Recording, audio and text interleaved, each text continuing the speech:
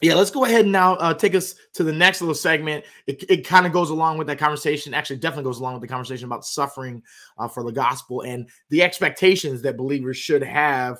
Actually, really, I shouldn't say that believers should have, but non-believers should have as they come to know Jesus. Like yeah. that, it's not, you know, it's not this uh cheesecake world that you're you're about to enter into. So let's go ahead and uh, take a look at that. So so one of the things that um, I think you even mentioned in your book is that when when the the life life happens, right? Mm-hmm. One of the misconceptions is that now everything's easy, right? Oh my god! yeah. we, we, ride off into the sunset. Like yeah. the life is just smiles and Hallmark cards, right? Like right, right. yeah. life got tremendously harder. Yeah. So are, so no, go ahead, go ahead yeah, I was gonna say people are shocked when I say that. It's almost like they think that this is gonna be this this this uh this like I said, right off into the sunset moment, and no, yeah. that didn't happen. Uh, but I know. And maybe some of the reason is maybe some of the reason is like some of the popular Christian culture mixed messaging mm-hmm. tries to say some of that, you know.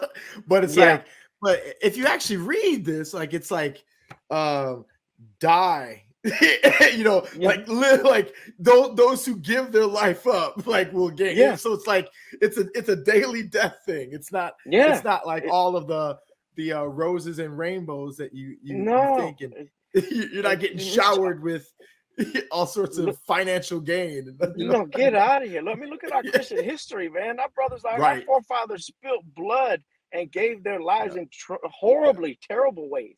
Yep. For us to have yep. a cake, like it ain't happening. Like that's like, one of the things I, I love.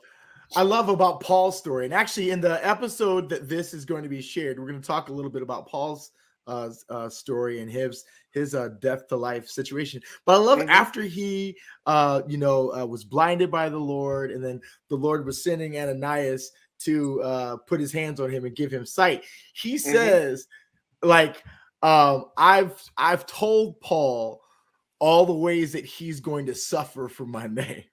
Like it's like it's like wait a minute, wait a minute. The, the, is that part of like the recruiting, you know, that you're doing here, Lord? Like, and it's like that's that's what we're signing up for. That's what we're uh-huh. agreeing to. You know, it's like yeah.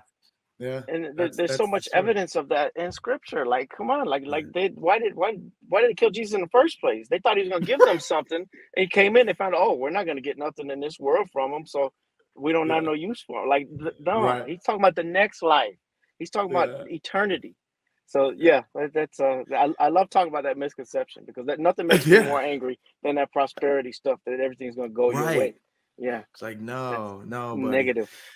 Yeah, and and and and in and in the midst of it, right, we have we have him with us, right? So mm-hmm. you're the oh, thing yeah. that is now always forever going to be an amazing joy is God's presence in the midst of our our dark days and the struggles and the suffering. Like He's not left us alone, and He's promised that He's even going to use it all for His yep. good.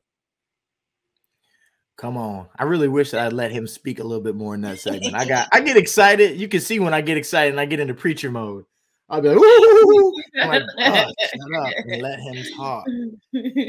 But uh um, I mean, is there anything you want to add to that? I know we talked a bit about that based basically in our other segment. No, I just I just love how yeah, the Lord says, you know, it's not gonna be great, but I'm always with you. And it's not until you're on the other side of those things that you're like, man, I see what you did there, Lord. That was great. yeah, it's like sometimes you definitely have to get on the other side of it. You oh, know? Oh, oh, all the time for me. I'm like, well, what is? And then on the other side, I'm like, why were you oh. worried and stressed about that? You knew the Lord was gonna take care. Yeah. Facts. I mean, look, like that's that's me before every time I uh, go and preach the word. I swear, like I so I did. I probably should have updated everybody. I, so I did a couple of uh, uh, youth retreats over this past summer, and one of the last ones I did, it was five messages I needed to preach in three days. And I was like, I was stressing it. I was all in my feelings. Like, oh Lord, I don't know. I should never sign up for this again. Afterwards, I was like, that was amazing. Look how the Lord showed up. And, and I'm talking to my wife, and she's like, that's how it always is, babe. Like, I don't know why you like, you know, like You know, and she's not even on the same page with me with all things spiritually, but she's like, I've I've been around this enough with you exactly. to know you freak out, you do it, you say it was awesome. Like, exactly. so why are you freaking out? Just skip that piece. That's awesome. Yeah, yeah.